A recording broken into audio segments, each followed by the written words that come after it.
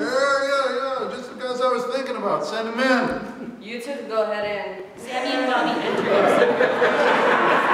Sammy, Bobby, the, the cats from the talent show, right? What's up, MC Real? Yeah, well, I, I'm pretty busy right now, but I liked what you did at that talent show. It was hot. Yeah. So, uh, what are you doing in my office? What do you need from me?